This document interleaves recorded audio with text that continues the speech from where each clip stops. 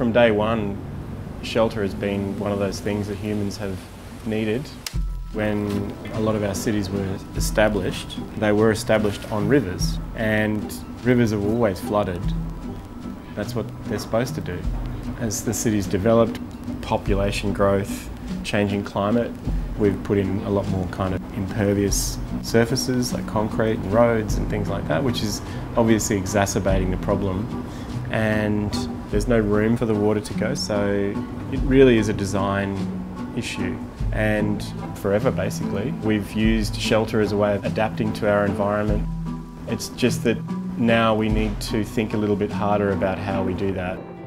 So when we first started working in this area, it was really about testing ideas and coming up with good principles for flood resilient design that are not only affordable but can also withstand severe weather events. We spent a lot of time looking at different material types, talking to builders about different techniques, understanding the local context and then applying whichever principles work best.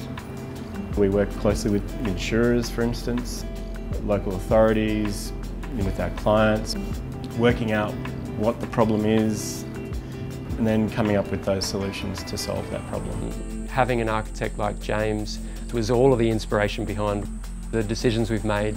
We know that our property in 1974, it flooded, and the flooding that happened in 2011, our whole neighbourhood here was pretty much underwater. Came up our street, reached our driveway, and it didn't come uh, onto our property. But we live in a floodplain, it's very normal for it to flood, and with climate change, it makes sense for us to you know, be cognizant of that fact and just plan and just build in a way that is going to be consistent with what we expect the climate to be. We can't control severe weather events. However, through lived experiences, we can learn, design and adapt.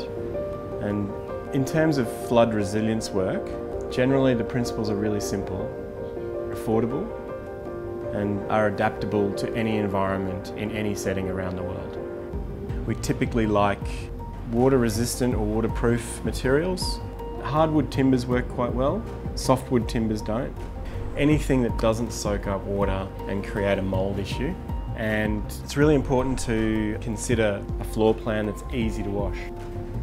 In the case of the client's house that we've just finished, the external wall construction is designed to emulate a traditional Queenslander with a single skin construction where we don't have any physical cavity.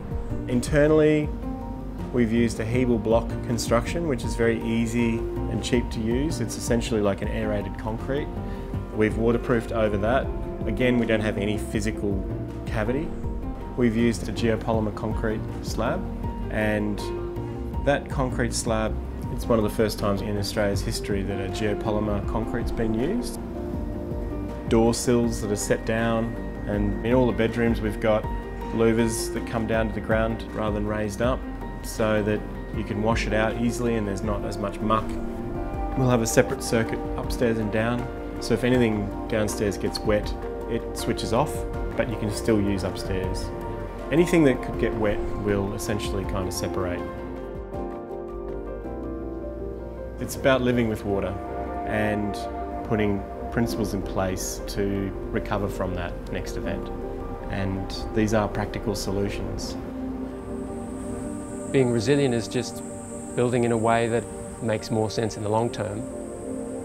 It does take a little bit of thought, a little bit of challenging some you know, ideas that you might have had previously, uh, but otherwise it's doable and, and we have that extra confidence that you know, when that storm hits, when that flood hits, uh, that, that we've prepared for it.